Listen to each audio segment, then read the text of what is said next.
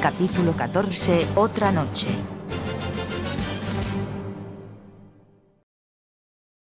¿Qué diablos te dijo eso? No soy de Calem porque y su primo ni siquiera es dueño de este lugar. Grité, ahora mi paciencia se ha ido. Le ordené a Jupa que sacara a todos los idiotas de mi garaje y los tirara a la piscina y lo hizo. Estacioné mi auto, despejé el área de mi garaje y lo cerré correctamente, luego fui a buscar caras conocidas. Tú. Gritó ese tipo de atrás mientras corría hacia mí y simplemente lo hice tropezar y le di un cantado. ¿Qué diablos eres? Cuestioné cómo mantenerlo encerrado. Es Tobías, y ahora déjame, tonto, dijo como tratando de resistirse, pero lo mantuve bajo la cerradura. Calem está aquí, Pregunté recordando su declaración anterior de que yo era el primo de Calem. Sí, estará arriba en su habitación, respondió. ¿Su qué?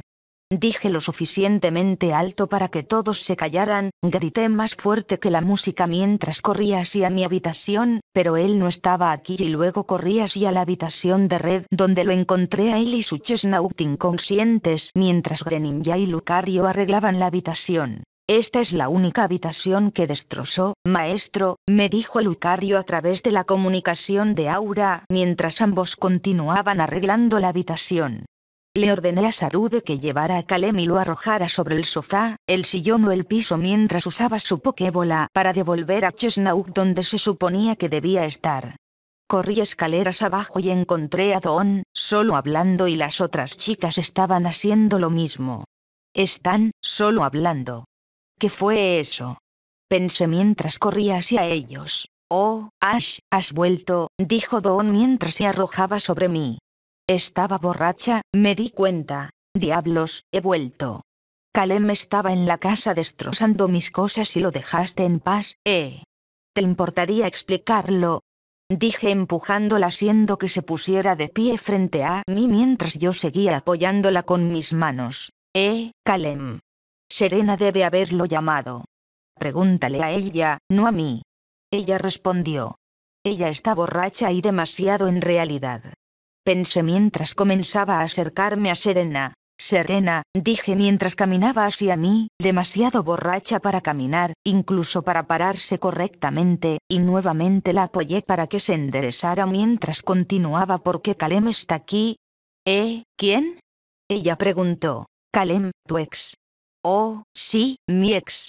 Itk, alguien debe haberlo llamado, debe haberse colado en la fiesta, siempre hace eso en una fiesta a la que no está invitado y luego destroza sus casas. Entonces, nadie lo llamó, ¿verdad? Sí, nadie lo hizo. Pero ¿dónde te tomaste tanto tiempo? Fuiste por la mañana y llegaste a las 9 pm, estuviste fuera durante 12 horas y ni siquiera me hablaste correctamente hoy, ¿verdad? Iba a protestar por lo que iba a decir, pero antes de eso, me rodeó el cuello con la mano y me hizo descender para darme un beso profundo, largo y apasionado. Deslicé mis manos por su cintura y la besé con más fuerza, no me di cuenta de lo que estaba pasando por aquí, pero noté que muchas personas jadeaban, gritaban y nos apoyaban. La detuve para mirar alrededor y ver que todos no nos miraban a nosotros sino a Kalem mientras nos miraba. Pude ver la ira, la tristeza, el alma destrozada en sus ojos, se veía tan desesperado, tan desesperado porque alguien le dijera que es un acto. Si está tan triste porque su ex conoció a un nuevo hombre, porque lo engañó antes. Pensé y luego obtuve la respuesta, todo era solo un acto para obtener la simpatía de las personas que lo rodeaban. La gente comenzó a acercarse a él y le dio simpatía mientras recibía miradas furiosas. Entonces una cosa me llamó la atención, Serena nunca rompió con Kalem, solo lo ignoró desde ese día, y luego vi la felicidad en sus ojos mientras la gente lo apoyaba, malditos esos ojos brillantes, todo era solo un acto. Hiciste mal, hermano. Un chico al azar se me acercó y me dijo eso mientras sostenía una mano en mi hombro ¿Quieres morir? Le di una mirada de muerte y él retrocedió. Se acabó la fiesta, vete a casa, grité mientras usaba a Jupa para echar a todos, y luego, me di cuenta de que todas las chicas dormían borrachas de nuevo. Este es un hábito, les impedirá hacer una fiesta, murmuré mientras hacía que Serena se sentara en el sofá. De repente, mi teléfono comenzó a sonar y cuando revisé, era Red. ¿Qué pasó? dijo Red. Yo hermano, le respondí. ¿Cómo está Galar? Yo pregunté. No mucho, volveré a casa mañana, por cierto. Mañana. Sí, mañana. Mi trabajo está hecho aquí.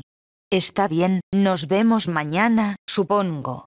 ¿De verdad crees que te llamé por eso? Por supuesto que no. Entonces, ¿qué es? Team World ha sido suprimido por ahora, pero no han dejado de capturar legendarios y que... Pusieron sus manos en todos los titanes, llegamos demasiado tarde. Me quedé boquiabierto y me quedé allí, sin moverme en absoluto, en un estado de confusión y conmoción. As punto de vista. Estaba pensando en lo que me dijo Red cuando me senté y comencé a frotarme la frente, pensando en todas las cosas que Team World puede hacer, solo usando titanes. Atrapar titanes es una cosa, pero capturarlos a todos y a su maestro Regigas es otra. Me senté en el sofá con una mano en la cara y pensé en cómo lidiar con eso. De repente, mi teléfono comenzó a sonar de nuevo, es de Ethan, pensé mientras levantaba el teléfono. Hola.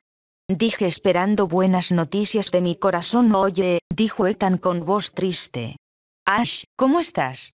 Estoy bien y todo, dime la verdadera razón, le dije en un tono dominante. Consiguieron las bestias legendarias, Entei, Raikou, Suicune, respondió con voz deprimida. ¿Qué? Grité despertando a todos, lo siento. Les dije a las chicas que les indicaban que se durmieran de nuevo y esas chicas se durmieron de nuevo, wow. ¿A quién le estás pidiendo perdón? Ethan preguntó a algunas personas, respondí. ¿Encontraste nuestro reemplazo tan pronto? dijo con voz ahora normal. ¿Es hora de bromear? Dije con voz frustrada. Ah, está bien, no te preocupes por la situación, dijo poniéndome un poco furioso. ¿Qué quieres decir con eso? Preguntó en tono intimidante. Oh, no te lo dije. Preguntó decir que... Yo dije. Tenemos buenas noticias, respondió y me estremecí. Espera, ¿qué buenas noticias, si puedo preguntar? Yo pregunté y él y yo volveremos a casa mañana, respondió, haciéndome temblar tanto. ¿Se supone que eso es una buena noticia? Dije prácticamente gritando, pero las chicas no se despertaron esta vez porque no lo creo. Relájate Ash, dijo haciéndome querer matarlo. Relájate, dices.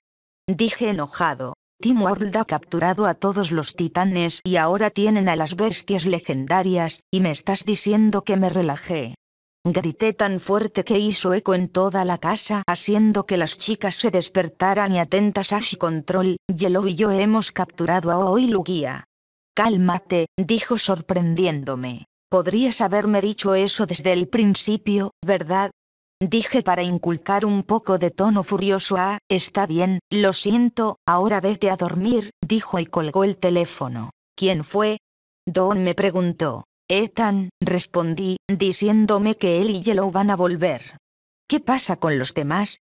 Preguntó Liv luciendo preocupada por todos, pero yo sabía a quién se refería. Nadie hasta ahora, dije mientras la cabeza de Liv bajaba por el dolor de no escuchar el nombre de Red excepto Red. Vendrá mañana. Completé cuando vi el rostro de Liv rebosante de felicidad. Entonces, ¿ustedes van a casa o descansan aquí otra vez? Yo pregunté aquí, respondió Don. Igual, agregó Rosa. Igual, repitió Hilda. Aquí está bien, respondió Lira. Aquí. Liv dijo estirando el final creo que podría querer irme a casa, respondió Serena y todos comenzaron a mirarla. Sí, yo también, agregó Shona. ¿Por qué? Preguntó Don y luego todos recordaron el beso. No es nada de qué avergonzarse, ¿verdad? Estoy absolutamente bien con eso, dije, honestamente, eso es muy común para mí, agregué cuando comenzaron a mirarme con cierto tipo de mirada, que no puedo describir. ¿Qué? Dije mirándolos con ojitos enojados nada, respondieron. Ah, me dijiste que era común, agregó Don cuando todos comenzaron a mirarla. ¿Continuará? Esta historia continuará.